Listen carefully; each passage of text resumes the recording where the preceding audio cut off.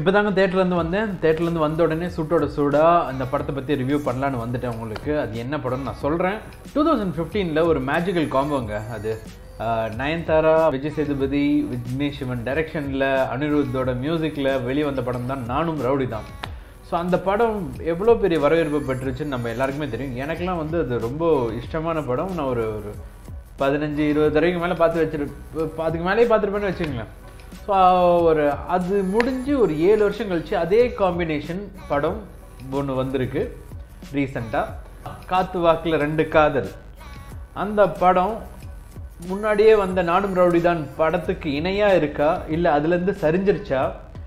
இல்லை அதை விட அழகாக வந்துருச்சான்னு சொல்லி இன்னைக்கு நம்ம வீடியோவில் டிஸ்கஸ் பண்ண போகிறோம் வாங்க வீடியோக்குள்ளே போகலாம் welcome back to my channel நான் உங்க கவின் பேசிட்டு இருக்கேன். எல்லாருமே சந்தோஷமா இருக்கணும் சிரிச்சுக்கிட்டே இருக்கணும் எப்பவுமே பாசிட்டிவா இருக்கணும். இந்த பாசிட்டிவ் நோட்டோட காத்து வாக்குல ரெண்டு காதல்.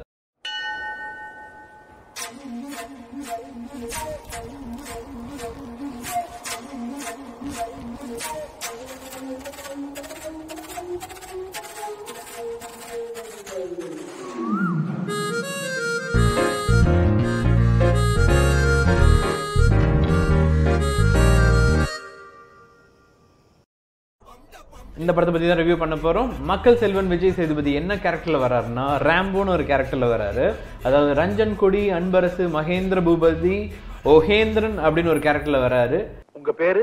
ஐயம்பேட்டை அருளை நம்பி கலிய பெருமாள் சந்திரன் சார் ஆமா உங்க பேரை யார் கேட்டாலும் இப்படிதான் ஃபுல்லா சொல்லுவீங்களா? ஆமா சார் நயன்தாரா வந்து கண்மணி கங்குலி அப்படின்னு ஒரு கேரக்டர்ல வராங்க சமந்தா வந்து பேகம் ஆ கட்டிஜா பேகம் அப்படின்னு ஒரு கேரக்டரில் வராங்க. இவங்க மூணு பேர்த்துக்கும் உண்டான ஒரு லவ் கெமிஸ்ட்ரி தான் இந்த படமே சரிங்களா?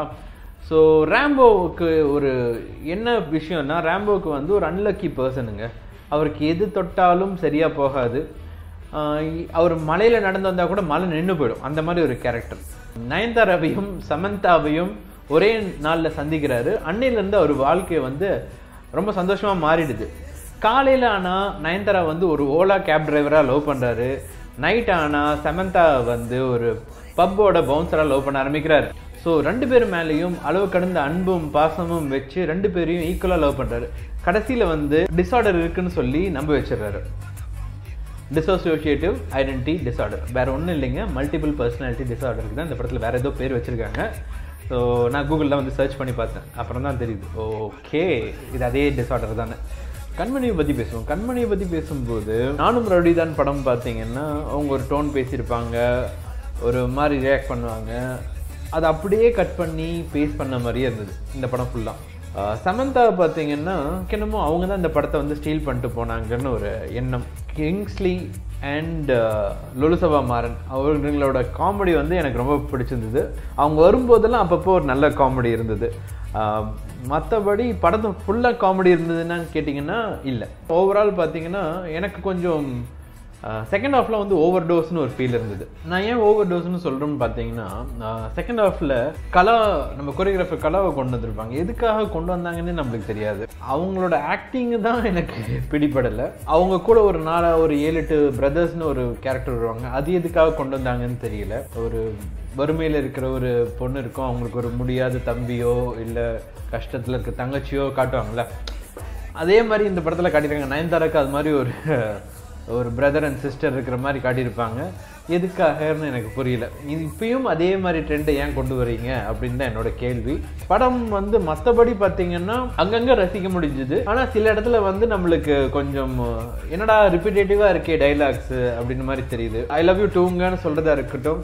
தேங்க்யூ நன்றி வணக்கம் அப்படின்னு சொல்லி நயன்தாரா சொல்கிறதும் ஒரு மாதிரி ரிப்பீட்டேட்டிவாக இருந்தது. அந்த ஹோல் படம் பார்த்தீங்கன்னா பார்க்கலாம். ஒரு தடவை போய் பார்க்கலாம் ஃபேமிலி போய் பார்க்கலாம்.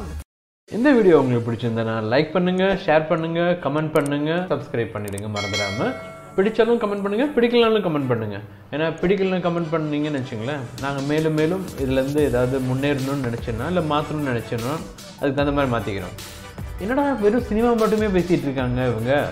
வேறு ஏதாவது பேச மாட்டாங்களா அப்படின்னு கேட்டிங்களா? இல்லை பேசுவோங்க. நல்லாவே பேசுவோம். நெக்ஸ்ட் வீடியோவில் வந்து கொஞ்சம் ஜென்ரல் நாலேஜ் பேஸ் பண்ணி கூட நாங்கள் வீடியோ போஸ்ட் பண்ணலான்ட்டுருக்கோம் சீக்கிரம் மீட் பண்ணலாம். நெக்ஸ்ட் வீடியோவில் பாய்